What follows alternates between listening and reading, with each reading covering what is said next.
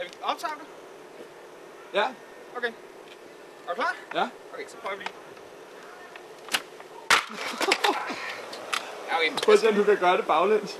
Baglæns. Ja, okay.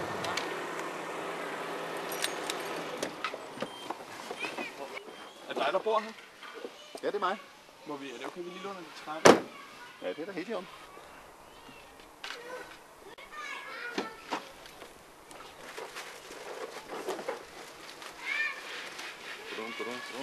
Øh, kan du ikke, øh, det var fordi, vi lige gerne med optage lige her, så kan du ikke flytte bilen eller sådan noget? Det kunne bare være fedt. Okay, skal der. Okay.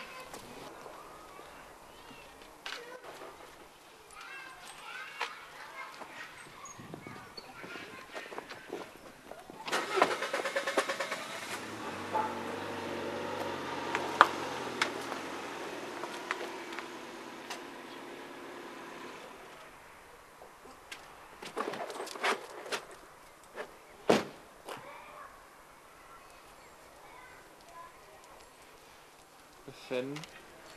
Hvad sker der for den hund?